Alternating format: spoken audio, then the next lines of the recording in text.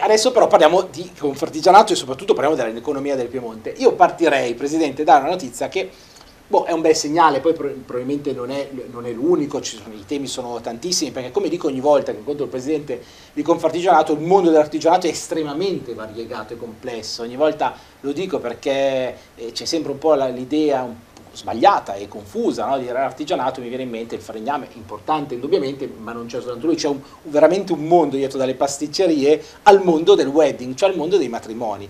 E allora partirei proprio da questo, ci sono delle notizie eh, positive, lo sapete che era, eh, tutto quel mondo ovviamente si era bloccato perché... Eh, non era possibile fare cerimonie, non era possibile poi andare a pranzo con i parenti e con gli amici, e quindi tutti quelli che si vanno a sposare, insomma, ci hanno un po' ripensato, speriamo non definitivamente.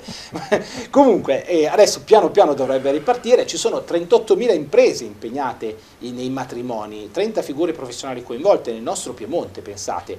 Nel 2019 sono stati celebrati 12.306 matrimoni, mentre nel 2020 soltanto 7.098, con un crollo del 42,3%. Nel 2020, adesso adesso stiamo ancora, stiamo ancora, vedremo naturalmente nel 2021, ma il primo semestre ovviamente è stato molto difficile.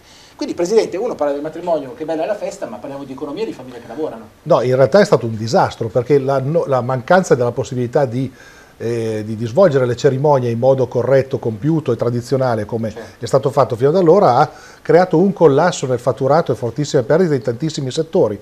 Come giustamente diceva lei ci sono 38.000 aziende solo in Piemonte direttamente coinvolte nel tema dei matrimoni, ce ne sono tante di più che sono coinvolte indirettamente anche per servizi di tipo marginale, tutte quante hanno avuto una forte perdita. Di queste aziende 16.000 sono aziende artigiane. Sono imprese che sono, oltretutto hanno anche un'altra caratteristica, molte volte sono attrazione femminile. Mm. Infatti il, la, la, pandemia con le chiusure che ne sono derivate hanno dato un colpo durissimo all'imprenditoria femminile che ha tenuto botta nei dieci anni precedenti al Covid, dieci anni di recessione, dieci anni pessimi, Dieci anni in cui la componente femminile nelle imprese artigiane ha consentito a settori interi di tenersi in piedi, proprio per la caratteristica delle donne di portare normalità, equilibrio, nuove soluzioni nelle aziende. Quindi abbiamo doppia, un doppio dolore, abbiamo la perdita di un, un comparto importante e abbiamo un colpo duro all'imprenditoria femminile che invece si è sacrificata tanto nei dieci anni precedenti. Ecco, questo dell'imprenditoria femminile in realtà non ci siamo messi d'accordo prima, però è un tema che eh, GRP è particolarmente a cuore, ne parliamo spesso e non soltanto nei giorni un po' più istituzionali in cui sì. tutti parlano no, di questi temi.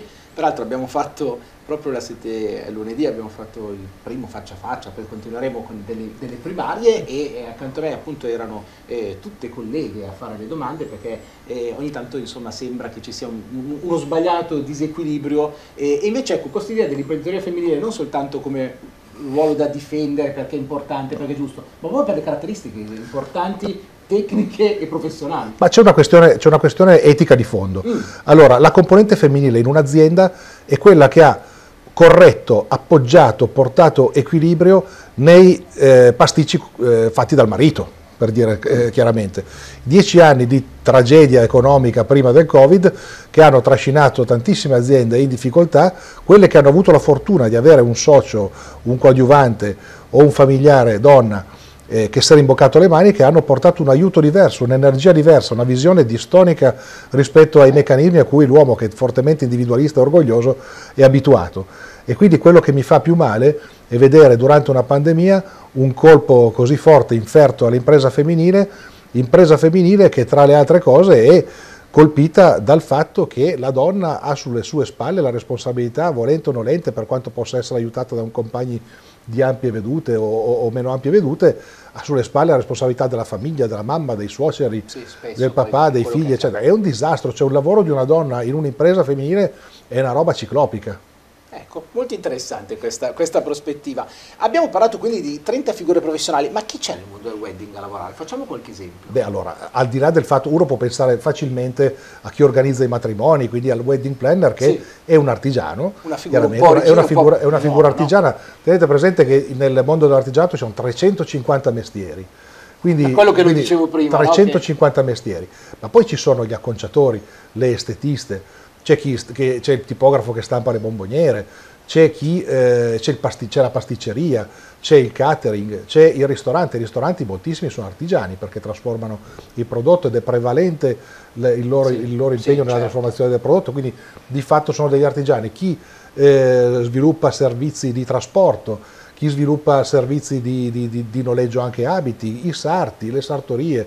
Noi abbiamo centinaia di sartorie di primo livello associate nostre in, in Piemonte, magari che sono a conduzione singola, che hanno magari una dipendente e che fanno le sfilate a Los Angeles, che esportano i loro abiti in certo. America e, e sono molto conosciute. Certo. Quindi pensate quanti lavori sono coinvolti. Ecco, adesso allargando un po' quindi il nostro sguardo e pensando in generale al, al mondo dell'artigianato, peraltro enorme come abbiamo detto, sì. ci sono tutte queste professionalità, adesso che speriamo, stiamo iniziando a uscirne, speriamo di non rientrarci, ecco, possiamo, eh, riusciamo a capire bene chi è che ci è andata, a chi è andata peggio e chi è andato forse un po' meglio per questo periodo che abbiamo allora, superato. È andata malissimo a tutti. Chi sta recuperando un pochino mm. è una parte del comparto edile, mm. perché chiaramente aiutato dal, dal, dal 110% dalle agevolazioni fiscali sulle ristrutturazioni e sulle riqualificazioni, è andata meno male al settore del, alimentare, perché diciamo che eh, chi, chi ha avuto la possibilità, la fortuna, la bravura di essere inserito nei circuiti di, della grande distribuzione con, proprie, con, i propri prodotti ha continuato a vendere. C'è da dire che la grande distribuzione ha fatto concorrenza sleale a tantissimi nostri produttori perché non c'erano limiti alla possibilità dei supermercati di poter vendere quando gli stessi produttori invece erano vincolati a tutta una serie di protocolli. Quindi tutti quanti hanno sofferto, ci vorranno ancora due anni prima di raggiungere i livelli pre-Covid, sicuramente se gli eventi ripartono, al di là dei matrimoni, tutta, una, tutta la filiera che è amplissima degli artigiani, pensate anche chi si occupa di grafica, di pubblicità, eccetera, sicuramente ripartirà e un pochino di lavoro ci sarà. Ma prima di riparare i danni, perché lo Stato non è intervenuto con degli aiuti consistenti, ma per, cioè, non vogliamo accusare nessuno, ma è, è, è un dato di fatto che, che, che, purtroppo il governo ha fatto quello che forse poteva, non poteva fare di più, ma ha coperto il 3, 4, 5% delle perdite nel, nel migliore dei casi. Ecco, 5% delle perdite è veramente... No, e come eh. hanno fatto però gli artigiani, come probabilmente anche altri lavoratori? Però insomma, per il lavoro dipendente poi ci sono un po' più di eh, aggiustamenti, no? c'è sì. la cassa integrazione, sì. ci sono altri strumenti.